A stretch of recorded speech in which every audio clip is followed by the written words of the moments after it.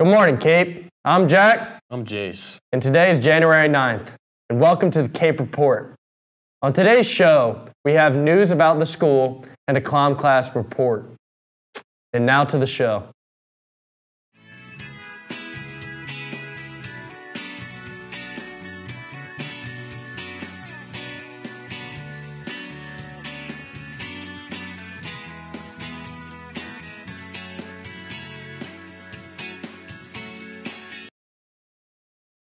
On the main lunch line today, we got a banger for you guys.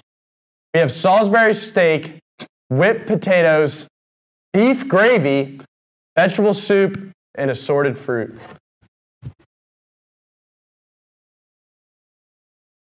Health Career Pathway is hosting the Delmarva Blood Bank Blood Drive on January 13th in the parking lot. If you donated earlier in the year, you are still eligible to donate at this drive. To schedule an appointment, go to their link.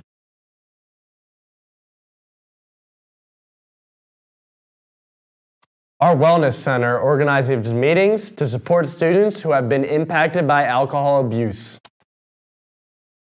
Alateen sends a trained representative to CAPE to facilitate the meetings. Alateen has one purpose to help young people affected by someone else's drinking. Your anonymity will be respected. For more information, check in with the Wellness Center or the guidance counselor. Don't forget about the after-school academic support from 2:45 till 5:30. Check out the chart and see when this can work for you.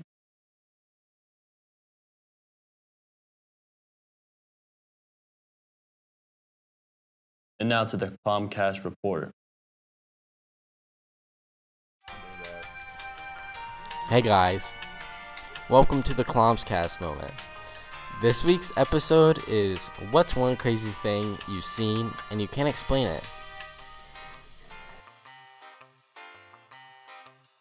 About like three days ago, I'm just chilling in my house and I walk outside to go to work and I just there's two random kids in my driveway just slap boxing. I've never met these kids in my life, just two two random kids.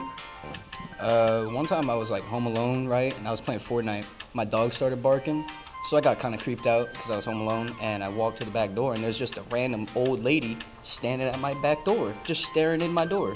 So I asked her like if she knocked on the door, front door or anything. She didn't respond to me, and then she, she just walked away and got in her car and left. Can't explain that one. I wouldn't feel safe in that house. Me neither. Probably a time where I pulled up to my friend's Noah house, but I just go hang out, hang out with a bunch of friends, and I saw some people laying in the driveway. Uh, so one time I was in Rehoboth, you know, big beach town. There are these big trash cans. So I was down there with Kevin Lewandowski one time. You know, really tall. He's I think he's Polish. I'm not sure, but he's really good looking. So he was down there. You know those trash cans that are like chest height, like really, really tall. We were just walking, and he hurdles, hurdles them. Like he just he jumps. He doesn't touch them. Doesn't touch them at all. He just jumps straight over them. It's the craziest thing I've ever seen in my life. He was like a gazelle, one of those African deer. That's impressive. hmm And he did it like three other times besides that. And he was like, "Hey, watch, watch this." He got three women's numbers that day. I got off the bus and I was on my way home because like there's a long stretch of road before I get to my house. And it was it was a very chilly day. And it was like I had to go through two yards because one is the Savinis. And these are very nice people, but apparently they're evil because um I went through the yard as I usually do to get to my house, and there was an entire severed goat leg. It's a tough one, but I this one's probably the craziest. I uh, walked down my friend's basement, and there was a pretzel rod, and it wasn't where it was uh, supposed to be. That's all I can say.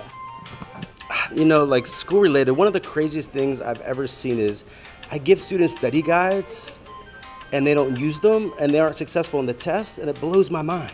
I found uh, I found probably like 500 plastic utensils from school under my brother's bed. So that's probably it. Why does he need those? I don't. It's fair. Yeah. Maybe he's digging his way out. Bring it up.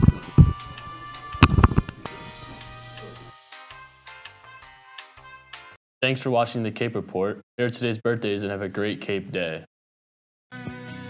Live.